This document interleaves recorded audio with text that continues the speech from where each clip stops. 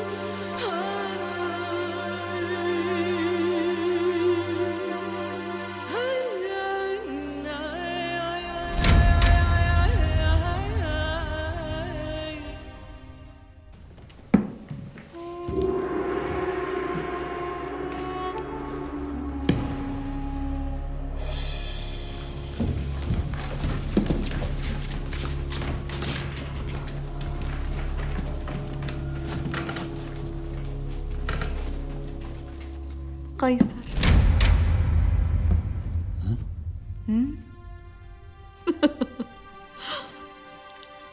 أنا لست وهما لست خيالا بل حقيقة انظر إلي المسني لكي تتأكد. كليوباترا. نعم. عطرك هذا يروق لي. عطري فقط يا قيصر. إنني أتذكر منذ أعطاني والدك قارورة من نفس هذه الرائحة ما زلت أحتفظ بها في ذاكرتي وما زال عبيرها يفوح يفوح منها ويشعرني بلذة لم أشعر بها من قبل. إذا أنت سعيد الحظ الذي حصل على عطري في روما. يومئذ رسمتك في خيالي كما أراك الآن. ما رأيك إذا؟ أن أحكي لك طريقتي في صنع هذا العطر.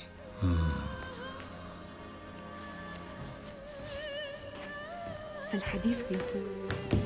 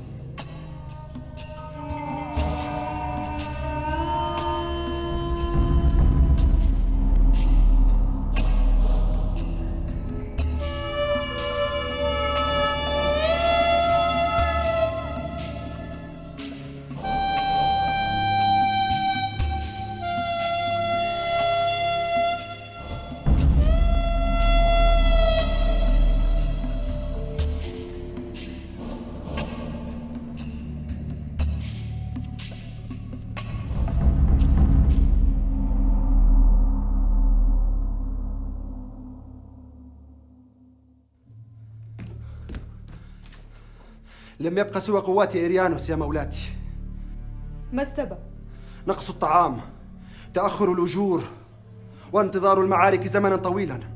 ألم يكن هناك تدابير لمنع فرارهم؟ لا يا مولاتي. فأخيلس قد زرع جواسيسه بينهم لينقلوا وعوده بمضاعفة الأجور وكمية الطعام والشراب إذا هم التحقوا بقواته. كان علي أن أعرف أن الجنود لا يجرون وراء راية لا ترفرف. ما أريده منك يا مارسيليوس أن تبلغ إريانوس بأن يحافظ على قواته بأي ثمن وألا يشارك بأي معركة قادمة. لا أريد أن أخسر جميع الجند. وإن كتبت لي النجاة فسأجعل منهم جيشا واحدا لا يقهر حتى لو لم يبق في عمري سوى يوم.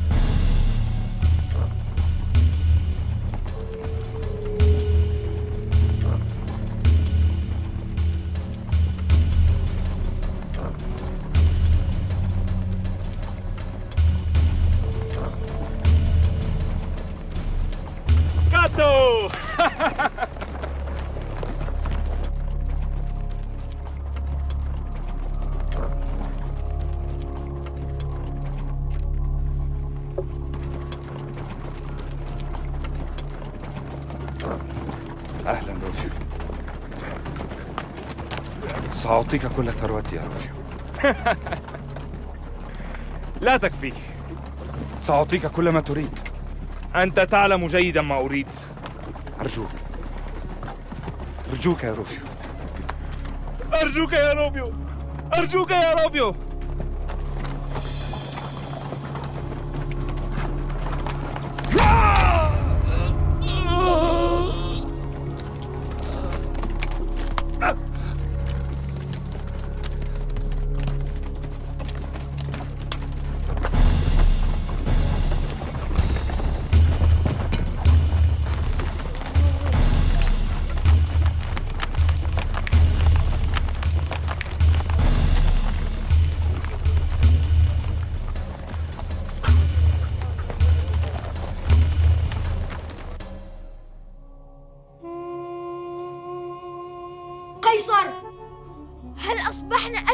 لديك يا قيصر؟ أجل يا بطليموس لأن أخلس لا يستطيع تحريك جيشه إلى الإسكندرية لمحاربتي إلا بإذن منكم ستقيمون هنا وتكونون تحت رقابة المشددة وأي أمر أحمق يصدر من أي أحد منكم سيدفع صاحبه ثمنا باهظا. أنا يونس قيصر أنا. قيصر يفكر جلالة الملك أن يرسل أحدا لإيقاف زحف أخيلاس على الإسكندرية. أليس هذا ما تريده؟ عندما أرى جيش أخلس يعود إلى بلوزيوم سأعيد النظر بقراري هذا.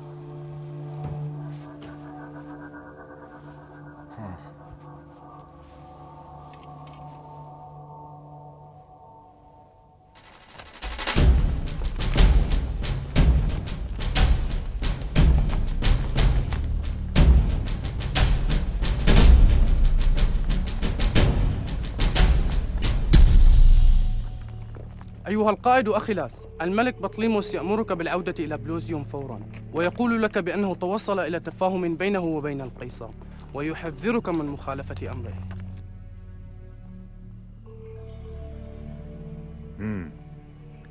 يحذرني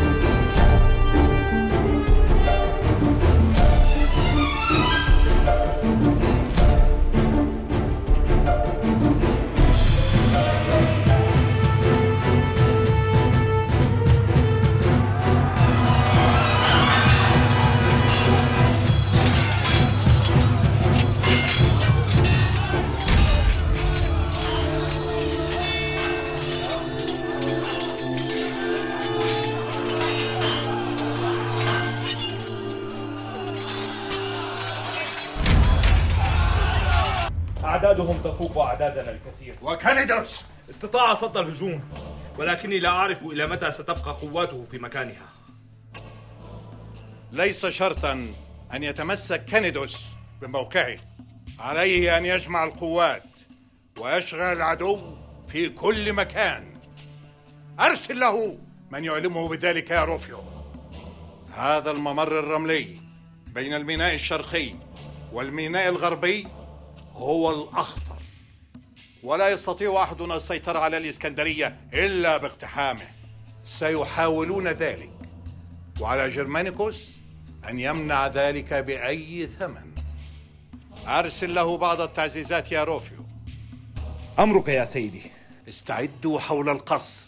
هجومهم صار وشيكا. علينا أن نسحقهم قبل أن يتمكنوا من ذلك. هناك شيء آخر يا سيدي. كتيبة أغربة تفرقت وانسحبت من الميناء الغربي وجيش أخيلاس يحاول تطويقها الآن. يبدو أن الوضع سيئا في كل مكان. أعطني سيفي. سيدي. أعطني سيفي. يجب أن يعلم الجميع. ماذا أفعل؟ عندما أغضب. فأنا أنا يونس قيصر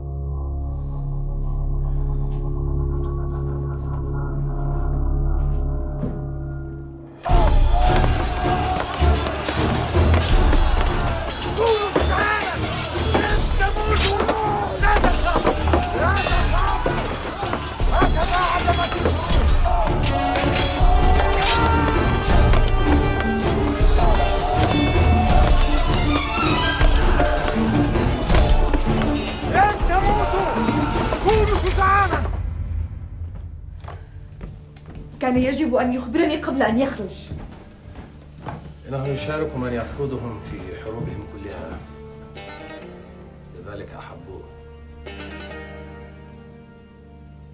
وأنت هل تحبه يا أبلودور؟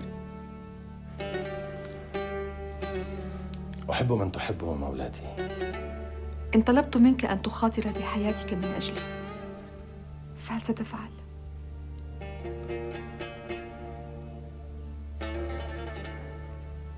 لن أفعل يا مولاتي لكني سأفعل إذا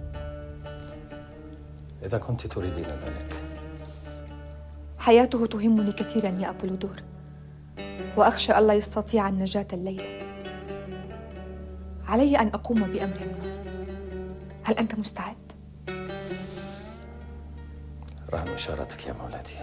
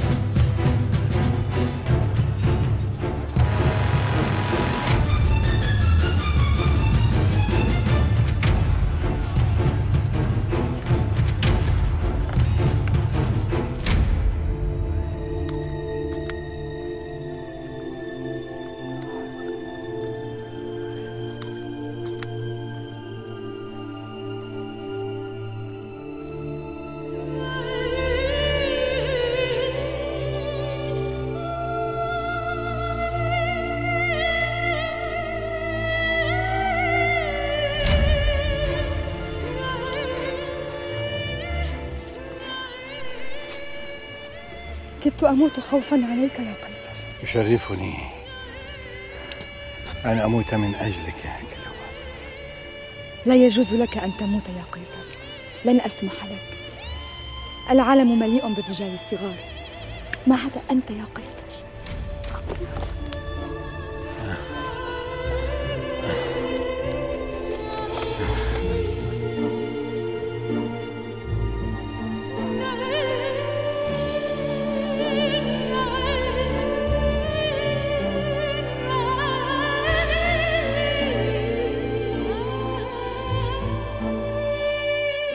اخترتك لهذه المهمة يا جنيميدس لأنه لا يوجد شخص في الدنيا أقرب إلي منك. أخشى أنها لا تناسبني يا مولاتي. ما الذي يقلقك؟ عندما تخبر الملكة بالنبأ ستقع الكارثة. إننا هكذا نقوم بعمل لا نعرف عقباه. لقد استحال خوفك من كليوباترا إلى مرض حقيقي يا جنيميدس. الخيانة تؤثر بها كثيرا. دعك من كل هذه الهواجس يا جنيميدس. لقد وضعت كل شيء في حسابي فالمجد والسلطة والعظمة صارت حقيقة بين يديك. سيكون خطأ عمرك إن فرطت بها أو جبنت في الدفاع عنها حتى الموت. هيا يا جنيميدس أهل الإسكندرية ينتظرونني لتتويجي ملكة بعد أسر بطلموس. هذا الأمر ينبغي أن يفرحك لا أن يقلقك أو يخيفك. والملك بطلموس. دعه لي. أنا سأهتم بأمره. هذا إن خرج حيا.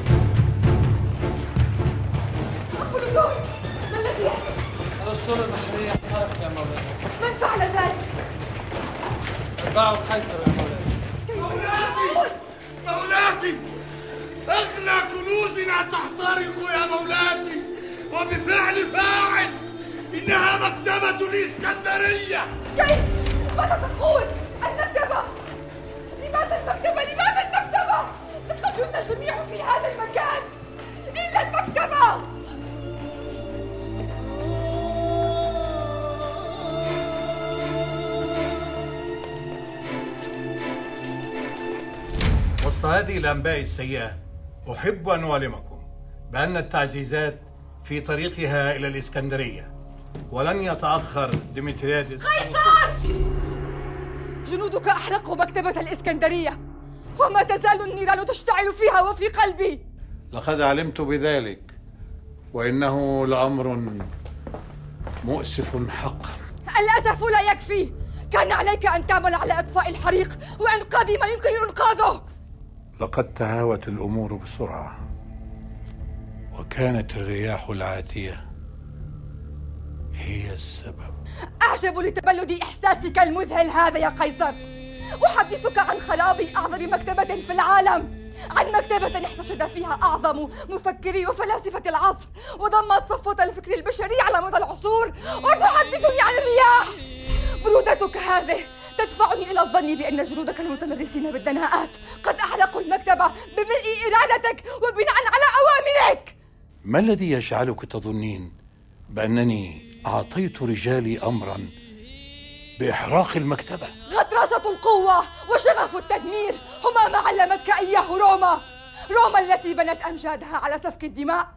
روما التي يثقلها واجب التدمير التي يلذ لها أن تحكم على كل شيء أن يكون مؤقتا أو عابرا والتي يسعدها أن تكون الإسكندرية بلا مكتبة بلا رأس فلتعلمي يا كليوباترا أن العالم الذي أحتقره هو العالم الخالي من الفلسفة والشعر والفن. إنني أخوض حربا وفي الحرب لابد أن أنتصر. لا أعتقد أن اندلاع النار في كتب تهب المعرفة للإنسانية وتضفي النبل على البشرية سيجعل من نصرك هذا قريبا أيها القائد لا تتحولي إلى شخصية مأساوية بسبب مكتبة سأشيد لك مكتبة لن تستطيع لن تستطيع. لقد قدمت في سبيلها اعتناء يفوق مقدرة البشر إنها تعني بالنسبة لي ولأجدادي البطالمة الكثير الكثير. ورجل حرب مثلك لا يستطيع أن يتفهم ذلك. ستظاهر بأنني لم أسمع كلماتك الأخيرة التي تفوهت بها وسأقدم لك اعتذاري. إذا كان هذا يرضيك بسبب مكتبة ولكنك تخطيت السقف المسموح به يا قيصر.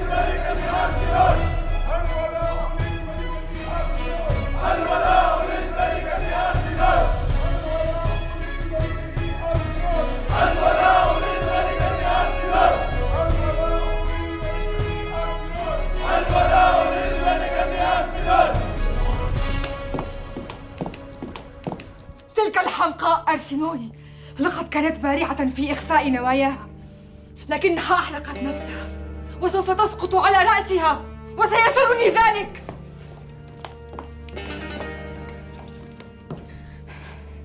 أحلامي تسير في اتجاه والحقائق تسير في اتجاه آخر. كل ما يحدث في هذا القصر يريد أن يحولني إلى شخص لا أحبه. كل خطوة أخطوها تخبئ لي دسيسة ما. أو كارثة غير متوقعة. لا أعرف. لا أعرف. لا أعرف إن كان هذا الأمر محزنا أم مضحكا. لا. لا بل إنه مضحك. إنه مضحك. مضحك جدا. ولكنك ستكونين أقوى بعد محنتك هذه يا مولاتي. الآلهة قالت ذلك. وعليك أن تؤمني بأنها تراك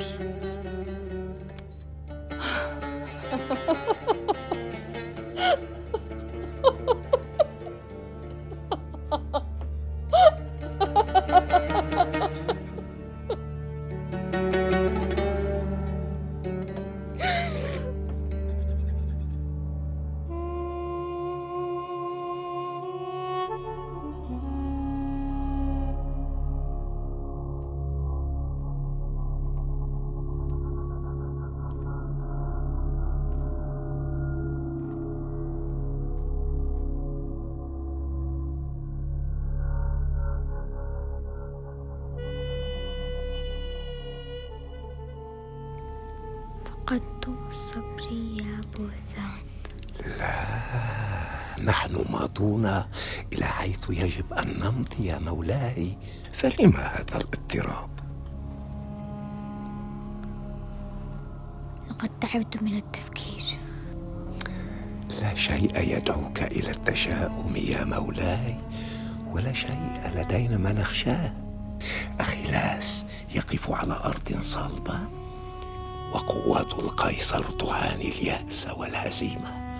ولن يطول الوقت حتى يدركوا أنه من الأفضل أن يبتعدوا عن الإسكندرية وألا يعودوا إليها أبدا. حتى أرسينوي. أرسينوي! لقد تعلمت شيئا من أفكار كليوباترا الحمقاء. الإسكندرية لا تريد ملكا سواك. ولن يمر وقت طويل حتى تشفى أرسينوي هي الأخرى من جنوح الخيال. فكن مطمئنا يا مولاي. سأصدقك للمرة الأخيرة يا بوثان. ولن تخسر يا مولاي.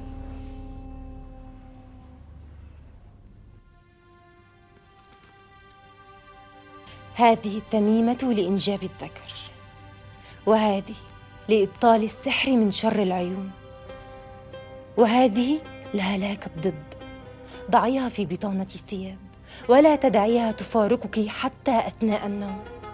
قدمت لها القرابين وكتبتها عند كبير كهنة آمون وهو رجل عارف بأحوال الدنيا والبشر ويتكهن للحوامل بجنس ما في بطونهن من ذكر أو أنثى. ربما كنت أحتاج إلى هذا الحجاب ليساعدني على إنجاب الذكر. أما الآخران فلا أرى مصوغا لهما.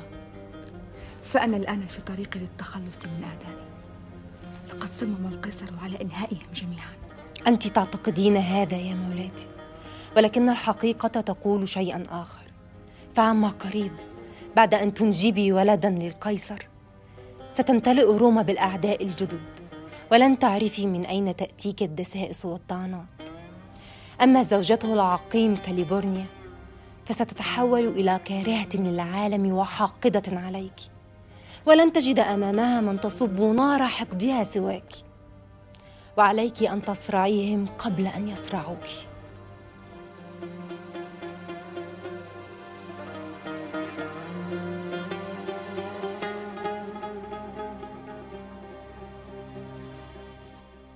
الجنود متذمرون منك يا أخيلس وأنت تعرف ما الذي يعنيه هذا. في معركة تواجه فيها مصر مصيرها القادم هذا ليس صحيحا يا مولاي أصمت يا أخيلس إلى أن أطلب منك الكلام. هل نسيت أصول محادثة الملوك؟ أم نسيت أنني ملكة؟ بالأمس تلقيت رسالة من بوثان ولم تطلعني عليها. هل هذه كذبة أخرى يا أخلس؟ هو يطالبني بتوحيد الصفوف لمواجهة الرومان كشعب واحد وأمة واحدة. تكذب يا أخلس فهو يحرضك عليه ويخبرك بأن تبقى مخلصا للملك ويدعوك لتحريض الجند ضدي. أنت ملوث بقذارة لا تمحى بسبب علاقتك هذه بذاك النسل بوثان. لن أسجنك. ولكنني سأقيلك من مكانك كقائد للجيش. وسيحل مكانك القائد جاني ميدس المشهود له بالكفاءة والأخلاق الأصيلة. تسلم درعه وسلاحه يا جانيميدس أرجوك يا مولاتي اقتليني قبل أن تفعلي ذلك.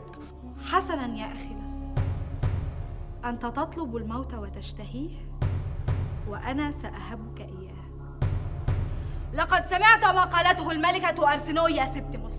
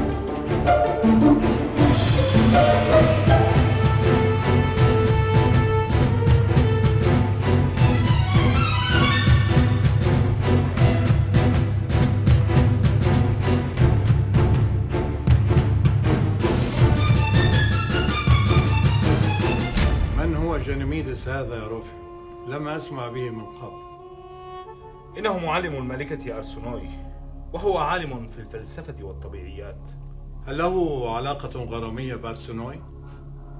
ربما فللقصور أسرارها يا سيدي الغريب في الأمر أنه منذ تولى قيادة الجيش لم يهاجمنا ولو لمرة واحدة ليس هذا غريبا يا روفيو؟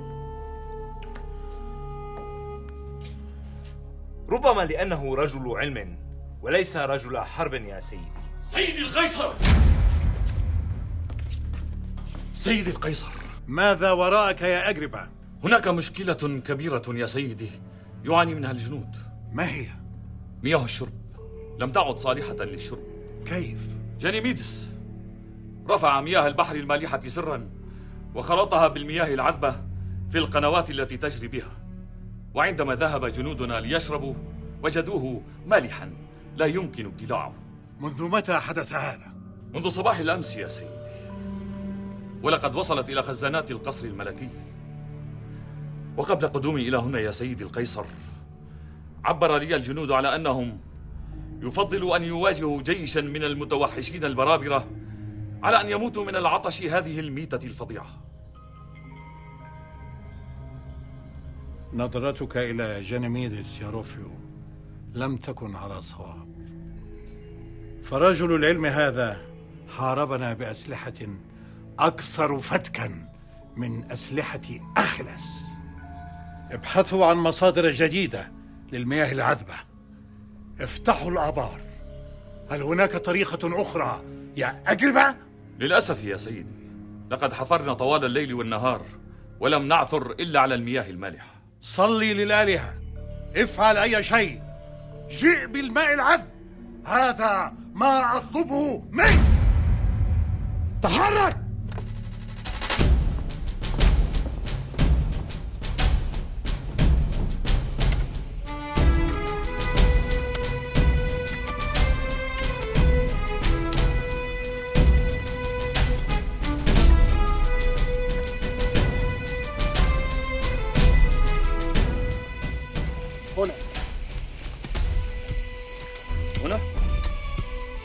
مولاك كليوباترا أمرت أن تحفروا هنا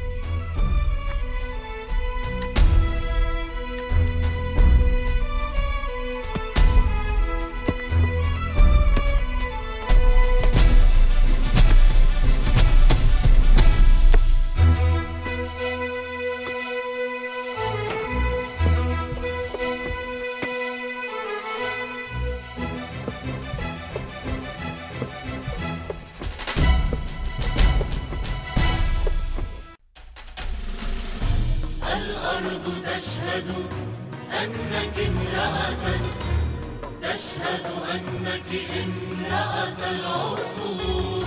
يا زهرة فاحت يا زهرة فاحت بها كل العطور. والموج يخفو كالحرير. الموج يخفو إذا خطرت والليل يخجل من بهائك. يخجل إذا مررت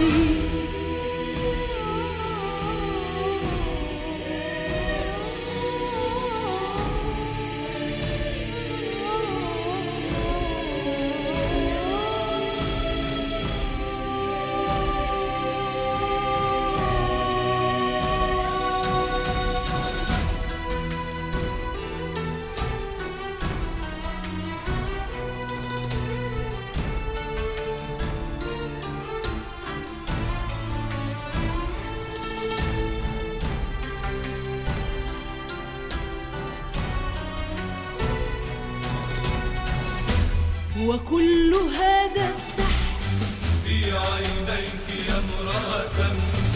وقف التاريخ ببابها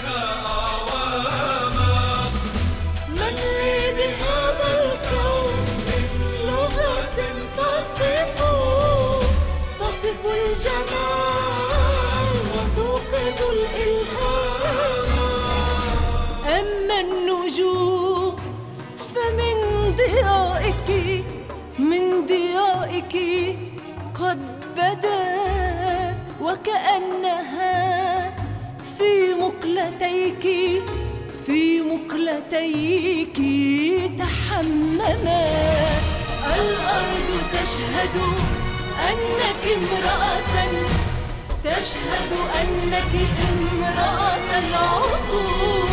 يا زهرة فاحت يا زهرة فاحت بها كل العصور